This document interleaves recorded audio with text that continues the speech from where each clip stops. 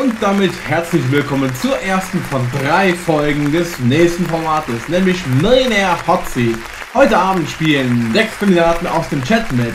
Ich freue mich auf den Vincent, genauso wie den X7 Airworker, den Millionaire Man aka Alex, Glocken M, Bari 007 und Linitus.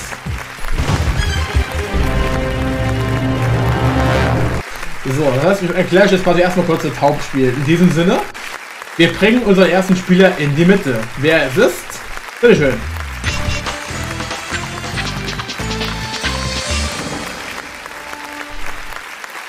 So, als erstes spielt nämlich der 7X7 Airworker. Die Regeln für alle sechs, die gerade mitspielen. Ihr seht ja live im Twitch, wie ihr wisst ja, wie es ist, bis nur wo die Folgen herkommen. Die Regeln sind sehr spannend. Es gibt 15 Fragen zur Million. Jeder von euch Sechsten hat genau einen einzigen Joker, nämlich das ist der Pass-Joker. Wenn ihr eine Frage nicht wisst, dann könnt ihr euren Pass-Joker einsetzen und verlasst quasi den Stuhl und geht zurück ins Publikum quasi und der nächste würde, würde die Schlange betreten und die, deine Frage bekommen. Ihr spielt so weit wie ihr könnt. Wenn ihr irgendwann sagt, ich will nicht weiter, könnt ihr passen, dann könnt ihr zurückgehen ins Publikum. Der Nachfolger von euch, der eure Frage kriegt, kriegt, eure Frage und hat wiederum die gleiche Zeit wie ihr Zeit. Das Schlimme daran ist nur, wenn er eure Frage falsch beantwortet, beziehungsweise allgemein eine Frage falsch beantwortet wird, dann passiert folgendes. Der höchste Betrag aus dem Geldbaum wird gestrichen. Demzufolge wird Frage 15 gestrichen und die nächste höhere Summe wäre Frage 14 für eine Viertelmillion lediglich noch. Und das Ganze geht nach wie vor weiter nach unten. Das heißt, je mehr Kandidaten rausfliegen, umso niedriger ist der Höchstgewinn, den mitnehmen kann. Aussteigen gibt es zu diesem Format nämlich nicht. Das heißt, alle von euch, die mitspielen, ihr müsst antworten, so oder so, oder euren Passjoker einmal einsetzen. Solltet ihr gerade durch einen Passjoker von einem anderen Spieler in die Mitte gekommen sein, könnt ihr nicht passen, müsst ihr diese Frage spielen. Ihr habt keine Chance, wenn ihr der aktuelle Spieler seid, nach einem Pass Ihr habt keine Chance rauszusteigen. Ihr müsst dann so weit spielen, wie ihr kommt und irgendwann scheitert ihr. Das ist das Miese daran. Deswegen, derjenige von euch, der am Ende der Sendung die letzte Frage richtig beantwortet hat, der gewinnt die Gewinnsumme entsprechend oder fällt auf die 1000 Dollar Sicherheitsstufe zurück. Alle anderen, die falsch antworten, gehen mit 0 Dollar raus. Das Format hier gibt es seit 2009 in Australien und ich würde mal sagen, abseits dieser Regelungen, muss ich noch eine Sache erwähnen. Nämlich, die, alle Fragen werden gegen die Zeit gespielt. Die ersten fünf Fragen haben 20 Sekunden Zeit. Wir haben jetzt statt 15 Sekunden 20 genommen, weil im Stream-Chat ein bisschen Delay drin ist. Die nächsten fünf Fragen bis Frage 10 sind 40 Sekunden Zeit statt 30 original. Und die oberen fünf Fragen von Frage 11 bis 15 es stehen statt 40 Sekunden, sind 60 Sekunden Zeit. In dem Fall ein bisschen mehr Zeit für den Stream-Chat, damit kein Stress entstehen kann, was es angeht. Dennoch denke ich mal, dass damit alle Regeln raus sind. Ich bin gespannt, wie das wird. Ich wünsche euch allen viel Glück. Ihr wisst ja, wenn ihr einen Joker, den Joker nehmen wollt, schreibt rein Lifeline. Hinweis nochmal, wenn ein anderer vor euch passt, ein anderer vor euch passt, dann könnt ihr euren Pass-Joker bei seiner Frage nicht nutzen, müsst ihr spielen. Aussteigen gibt es nicht, deswegen Walk Away, den Befehl gibt es überhaupt nicht. Ihr könnt nur mit den Commands Final A, B, C, D einloggen, halt, wie ihr es gewohnt seid. Oder halt mit Lifeline euren Passjoker quasi herbeirufen, wenn ihr einen habt noch. So. Und ich würde sagen, damit sind alle Regeln raus. Und wir starten in Millionaire Hot Seat unserer ersten Folge. Ich bin gespannt, wie das wird. Die ersten fünf Fragen sind genauso leicht und schwer wie immer. Man kennt's. Wir starten mal. Also, die erste Frage für den Airworker. Du weißt, wenn du einloggen willst, in kleinen schreibst den Chat rein Final, dann in Leerzeichen den Großbuchstaben A, B, C oder D direkt hinten dran. Also mit dem Leerzeichen Final, Leerzeichen in Großbuchstaben den Buchstaben. Erste Frage für 100 Dollar. Robin ist sozusagen Batmans Treppenlift, Rollator, Krückstock oder Gehhilfe.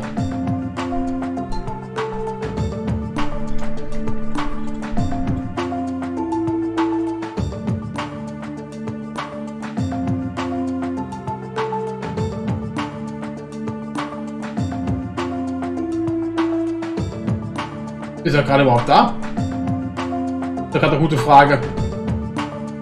Das habe ich jetzt mal für ihn eingeloggt. Bei einem C hast du gesagt. Das, okay, das, das Ding ist erstmal, erstmal, was ich dazu sagen muss, wenn die Fragen auf, auftauchen, achte nicht auf den Stream, achte bitte auf den Chat, auf den Chat, weil die Fragen werden vom Chatbot in den Chat reingedonnert. Ich weiß nicht, wie, wie groß dein Stream-Delay ist, deswegen, du hast die Frage in Echtzeit im Chat vom Bot gepostet. Und zweitens, versuch abzuschätzen, wann die Zeit um ist etwa. Das war für dich einfach der eingeloggt, weil ich das keinen rausfliegen lassen wollte.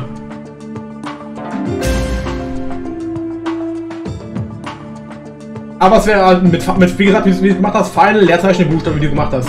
Du musst im Zeitlimit bleiben. Versuch, versuch in der Zeit drin zu bleiben und nimm die Fragen aus dem Chat. Der Bot muss dir hier reinposten. Was umgibt häufig die eigentliche Geschichte eines Romans? Post Postershop, Rahmenhandlung, Fotogeschäft oder Antwort D. Bildergalerie, Zeit läuft. Rahmenhandlung, richtig? Sobald Antwort D im Chat drin ist, kannst du die Antwort einloggen. Und 300 Dollar. Was verursacht Schäden in der Hauswand? Da haben wir Seife, Schwamm, Bürste oder Waschlappen.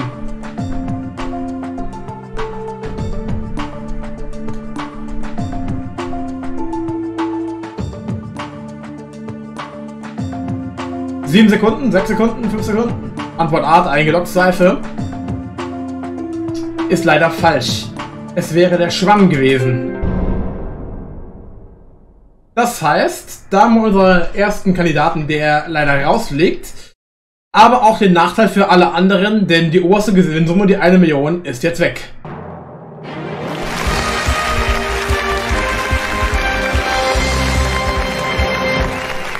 So,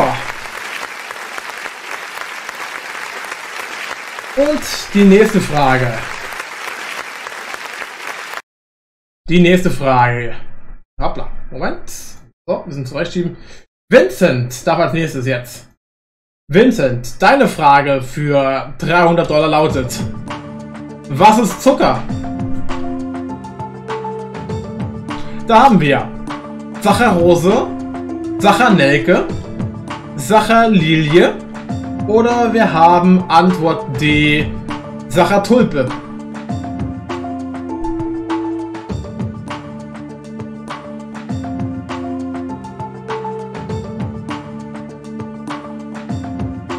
Sechs Sekunden, fünf Sekunden.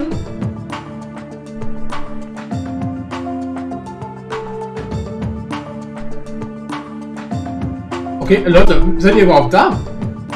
Oder habt ihr, habt ihr so einen harten Delay? Was ist los bei euch?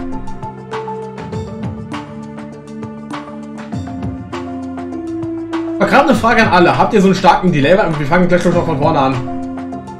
Oh gut, dann ist auch Antwort A gelockt. Okay, habe ich schon mal für dich eingeloggt, erste Frage. Aber ja, ist richtig. Wie gesagt, Vincent, nicht auf, nicht, auf, nicht auf, den Stream hier achten. Du musst die Antworten und Fragen, die aus dem Chat rausnehmen. Der Delay war bei mir auch extrem stark. Ach, scheiße, Mann. Was ist denn da los? Diese beschissenen Render-Texturen. Bei mir ist alles gut, glaube ich. Verdammt heftig. Ernsthaft? Aber wieso? 2,3 Sekunden, also das ist, okay, das geht ja. Das ist aber normal. 2,3 Sekunden ist normal. 300 Dollar, also wie gesagt, Vincent, Achte nicht, achte nicht auf mein Lesen. Lest dir im Chat, lest dir im Chat oben die Antworten durch und die Frage durch, wenn sie im Chat auftauchen. 10 bis 15 Sekunden. Aber nicht im Stream-Chat, oder? Ich, ich, wie gesagt, lest euch nicht die Antworten bei mir im Stream durch. Konzentriert euch beim Mitspielen darauf, wenn die Antworten bei euch in den Chat reinkommen, weil der Chat ist bei euch in Echtzeit. Der Chat ist bei euch in Echtzeit. Ihr müsst den Chat lesen, nicht den Stream lesen, wenn ihr, wenn ihr dran seid. Das ist für euch viel einfacher als. Weil ihr dürft nicht auf das Bild hier achten von mir. Ihr dürft nicht hier auf den Stream achten. Ihr müsst auf, auf den Chat drauf achten, wenn ihr, wenn ihr spielt, wenn ihr Spieler seid. Also sobald Antwort D nämlich im Chat drin steht, laufen 20 Sekunden runter. Das heißt, ihr müsst, müsst euch denken 20, 19, 18, 17. Müsst ihr euch denken einfach. Machen wir einfach weiter, oder? Ja, wie gesagt, wir machen sowieso weiter. Wir gehen auf 500. reinklicken. Ups. Kommt ein Gremium nicht zu brauchbaren Ergebnissen, dann produziert offenbar der Plunder Plunder, Abfall Abfall, Krempel Krempel oder D Zeit läuft, Ausschuss Ausschuss.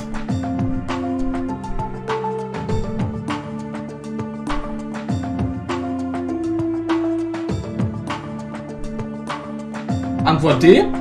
Ausschuss, Ausschuss ist richtig. 500.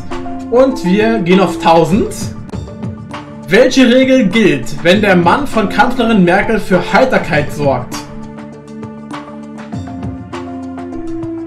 Ist es Antwort A. Hunger ist der beste Koch. Antwort B. Sauer macht lustig. Antwort C. Käse schließt den Magen. Oder Antwort D. Im Wein liegt die Wahrheit.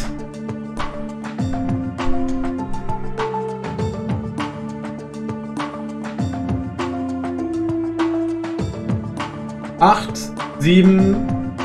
Antwort B ist auch macht lustig. Und das ist die Sicherheitsstufe für einen von euch. Sehr gut.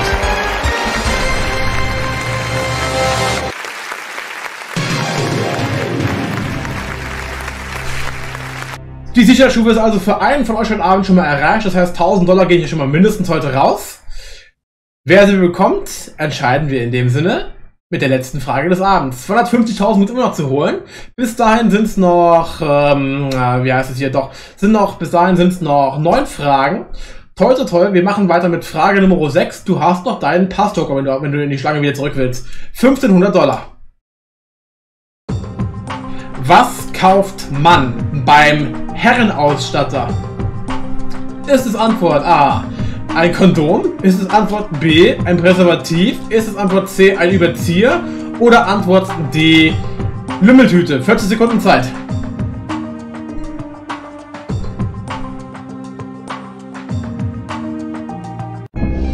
Antwort C. Überzieher. Richtige Antwort.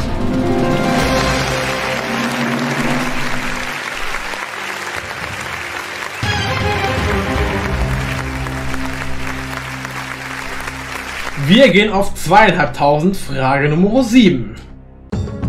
Welcher galaktische Held ist eine Kultfigur im Universum der Heftromane? Da haben wir Antwort A. Perry Roden. Antwort B. Johnny Logan. Antwort C. Lemmy Caution. Oder Antwort D. Percy Hoven. Du hast einen Passjoker, wenn du zurück willst.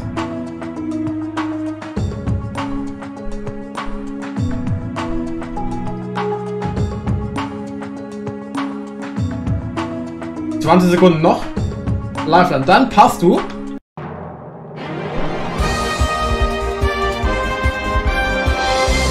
Und wir spielen weiter mit Bari. Bari, auch für dich die gleiche Frage wie er. Welcher galaktische Held ist eine Kultfigur im Universum der Heftromane? Perry Roden, Johnny Logan, Lemmy Caution oder Percy Howen? Die Zeit für dich läuft ab jetzt.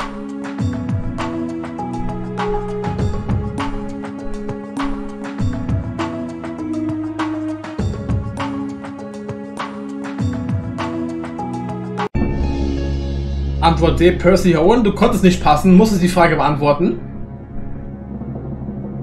Es wäre B. Johnny Logan gewesen. Nein, Spaß. Es wäre Antwort A. Perry Roden gewesen. Tut mir leid. Genau, passen durftest du nicht. Demzufolge ist wieder eine Gewinnsumme draußen.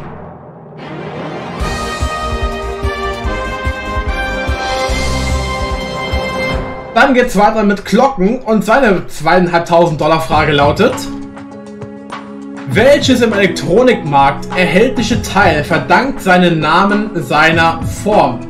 Da haben wir im Angebot Antwort A, W Kopfhörer, B X Steckdose, C Y Kabel oder Antwort D Z Batterie.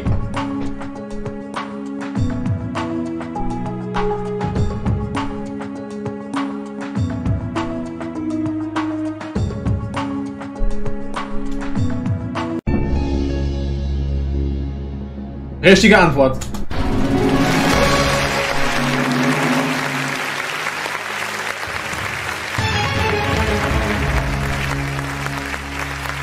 Und genau, wie Linus schon gerade am Chat gefragt hat, bei der Frage wäre jetzt schon passen wieder möglich gewesen. Immer dann, wenn jemand von euch passen sollte und der Nachfolger muss die Frage spielen, dann muss er eine Frage beantworten, bis er seinen freigeschaltet hat. Sollte er aber rausfliegen, hat der Na dessen Nachfolger automatisch den Pass-Joker wieder. Gut. Siebte Frage erledigt. Wir schauen auf Frage 8 für 4000. Und Bari, ich weiß, das ist ein bisschen nervig, aber die Fragen, ich habe keinen Einfluss drauf, welche da drankommt von denen. Es könnte eine Scheißfrage sein, es kann eine gute Frage sein. Wir machen weiter. Frage Nummer 8 für 4000 lautet. Was gehört auch bei Reinigungskräften zur Anatomie ihres Körpers? Da haben wir im Angebot Herzbürste, Lungenlappen, Leberschrubber oder Nierenschwamm.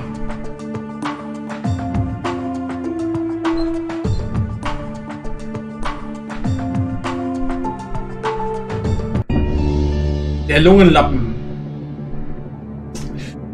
Ist richtig.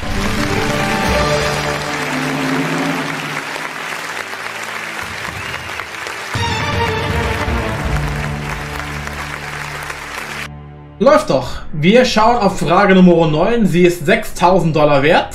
Du hast doch deinen Pass-Joker, aber ich war nochmal, es sind von hier aus nur noch 5 Fragen zu 100.000 Dollar.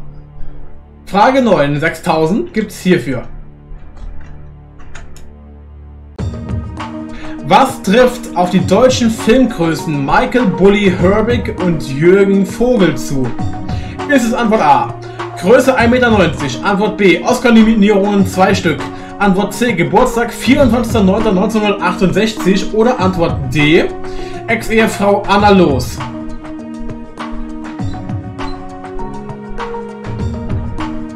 Passen. Okay. Dann geht's für dich zurück.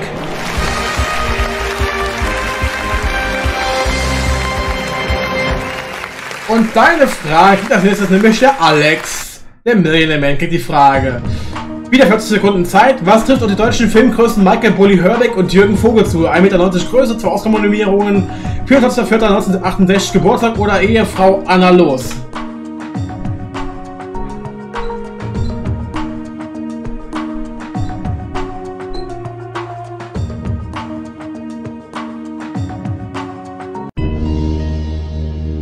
Antwort C. Geburtstag 24.09.1968.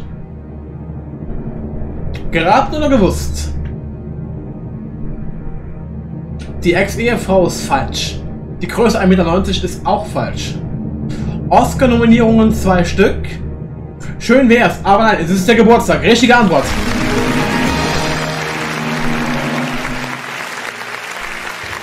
Komplett geraten, sehr gut.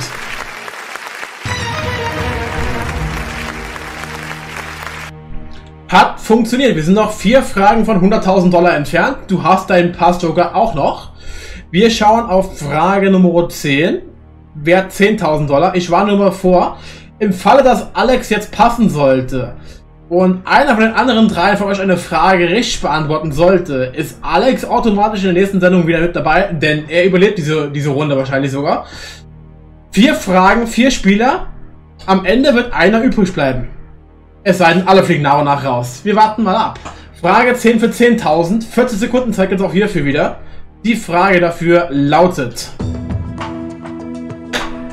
Heizpilz, Magnetrührer und Rotationsverdampfer gehören zur Grundausstattung eines Klimagerätes, eines Chemielabors, eines Dieselmotors oder eines Gasinstallateurs. 40 Sekunden Zeit laufen.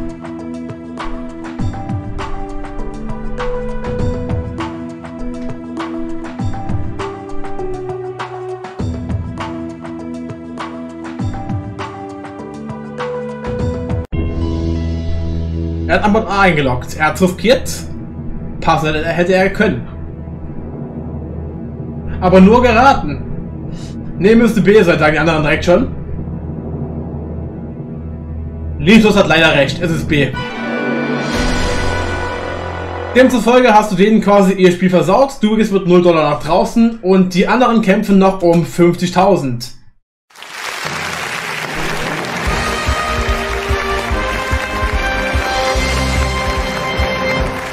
Demzufolge spielt als nächstes weiter der Linitus. Der Linitus spielt weiter und deine 10.000 Dollar Frage lautet... Welche Farbe gehört zu einem Skatspiel mit deutschem Blatt? Klingeln, Läuten, Schellen oder Bimmeln? 40 Sekunden Zeit.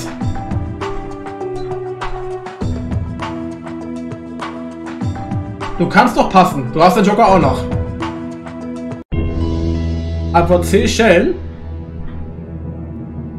Ähm, Skatspiel mit deutschem Blatt. Klingeln gibt es nicht als Farbe, Bimmeln auch nicht. Leuten genauso wenig. Du hast richtig geantwortet. Es sind die Schellen.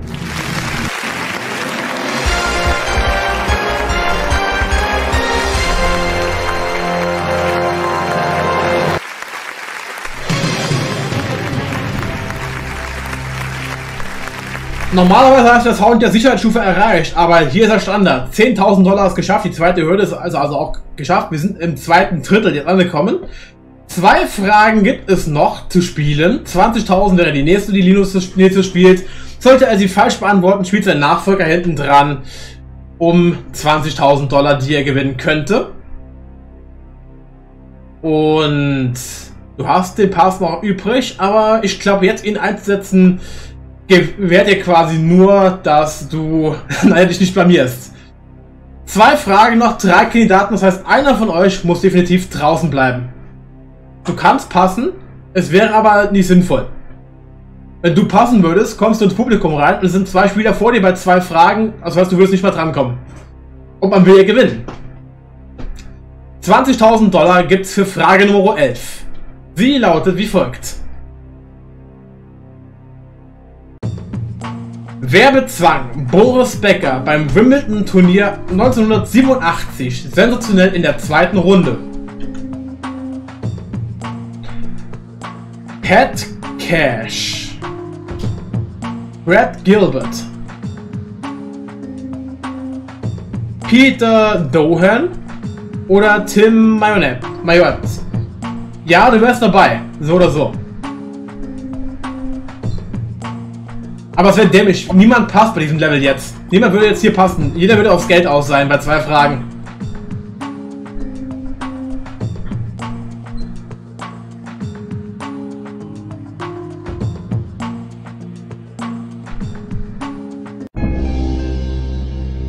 Ziel Peter Doan, sagst du? Warst du jetzt komplett geraten gewesen oder hast du jetzt eine Ahnung gehabt bei der Frage? Ich bin ganz ehrlich, bei dieser Frage hier wäre ich raus gewesen. Also ich hätte mir jetzt härten können, von wegen von den Namen her, aber mich hätte jetzt jeder Sinn gemacht, außer vielleicht so wie D hätte es für mich keinen Sinn gemacht, weil es nicht unschöner Name gewesen wäre, vielleicht A auch nicht. Natürlich auch zwischen B und C entschieden gehabt, aber richtige Antwort ist Peter Dolan.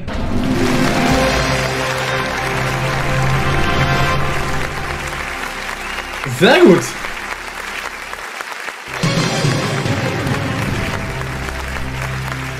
Demzufolge heißt das, du spielst die finale Frage heute Abend. 50.000 Dollar stehen auf dem Spiel. Letzte Frage, passen bringt hier überhaupt nichts mehr. Also in diesem Sinne, alles oder nichts. 50.000 oder 1.000, die sicher sind. Deine Frage Nummer 12 lautet wie folgt. Welches Land hat im Europäischen Parlament die wenigsten Stimmen? die Frage aus dem Jahr 2004. Ist es Antwort A. Luxemburg, Antwort B. Malta, Antwort C. Slowakei oder Antwort D. Estland? 60 Sekunden Zeit.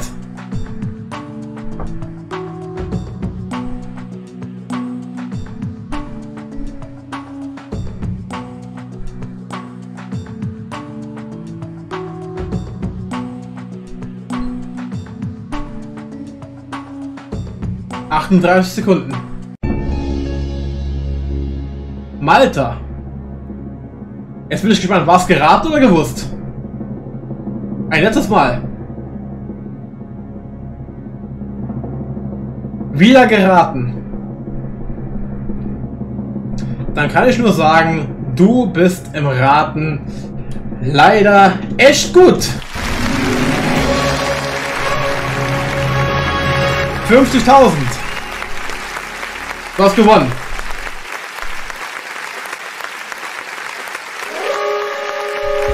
Demzufolge ist das die erste Folge Hot Seat. 50.000 Dollar für die erste Runde, 12 Fragen richtig beantwortet, das ist immer was ist. Aber 100.000 und mehr sind auch noch drin. Das war's für die erste Folge. Wir sehen uns bei der zweiten gleich wieder. Schönen Abend, schönen Tag noch und auf Wiedersehen. Ciao.